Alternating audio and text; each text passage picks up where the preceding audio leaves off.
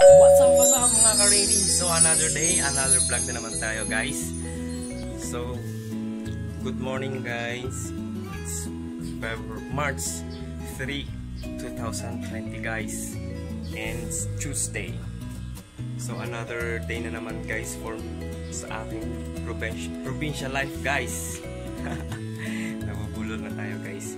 So samahan nyo ko ngayon sa buong hapon ulit dito sa bahay self-quarantine. Guys, bawal lumabas.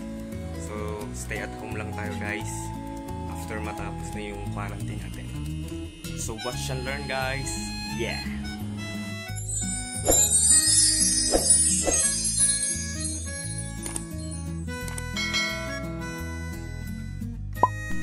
So guys, narito tayo sa aming mini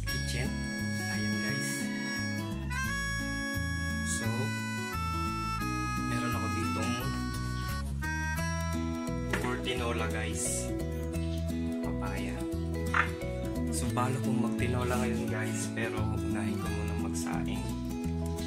Kasi guys, isa lang yung aming stove. So, saing muna ako guys. Later.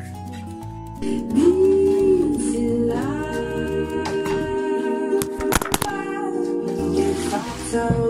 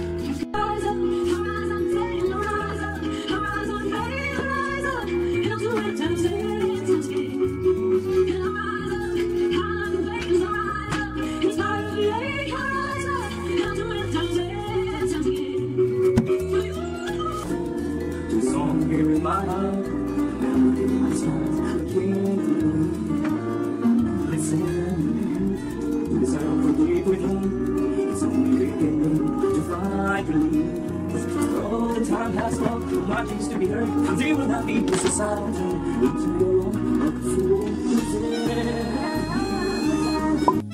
yung guys, no, nakatapo tayo mga gwalis ng ating bahay.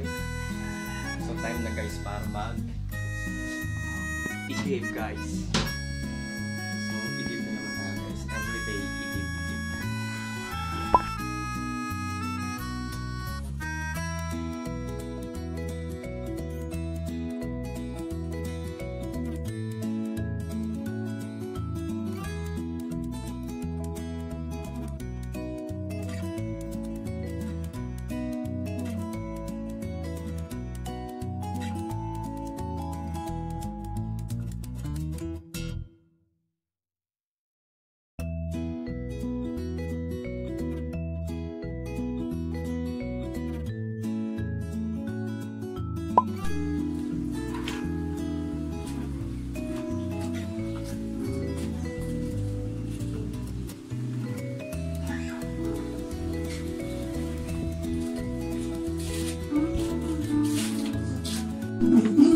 So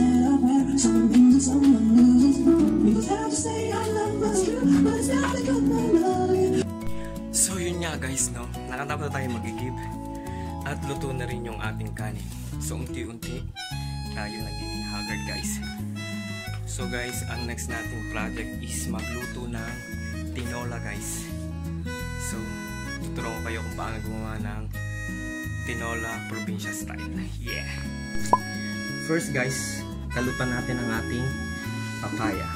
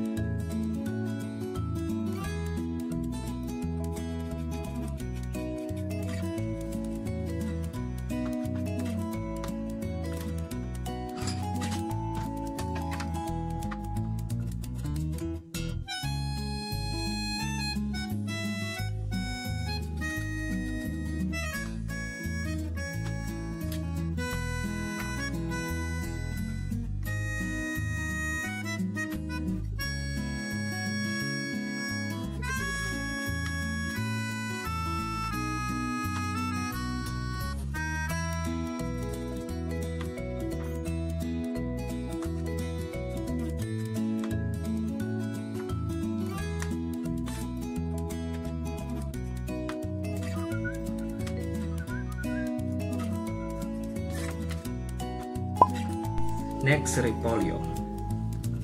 Naku, naku, hindi na mahal, wala na ako sa'yo. Ang aking pagsinta, aking nadarama sa'yo. Bawang, sibuyas, at luya. Green pepper.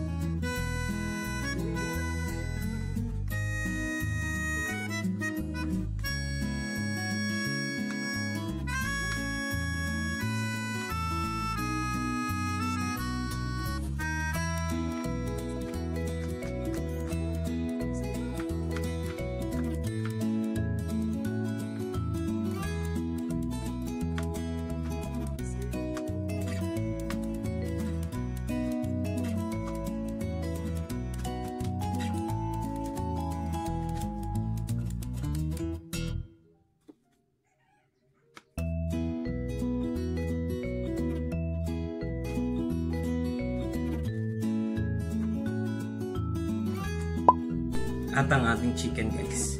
Chicken.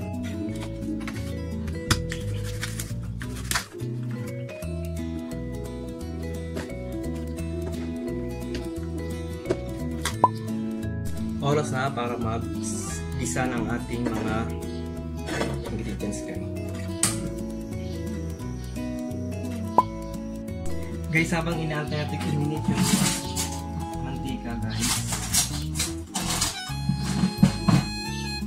Please guys, do follow me on my TikTok account. Nagti-TikTok na ako guys.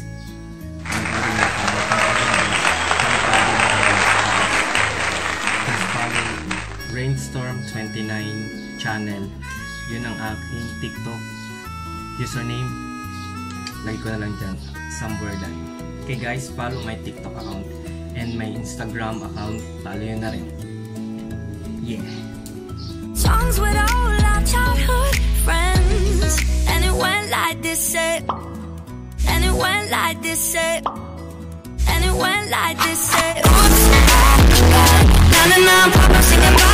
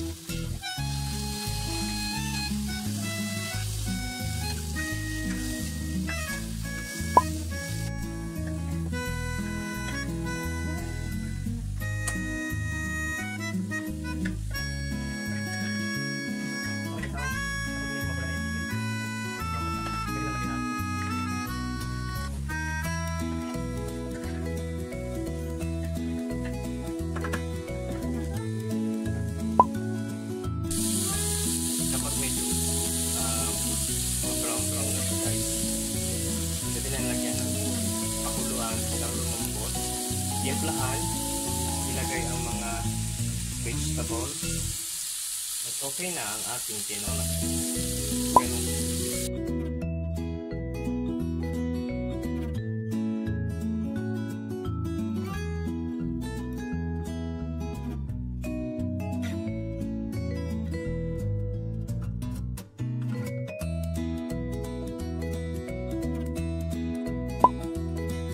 There you have it guys, luto na ang ating simple tinola.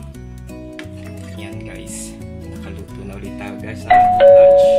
So there you have it guys, thank you for watching. Kung nag-enjoy kayo sa vlog ko ngayon, please subscribe, like, comment down below, and push that notification bell para updated ka sa mga susunod kong video guys. Thank you, bye bye!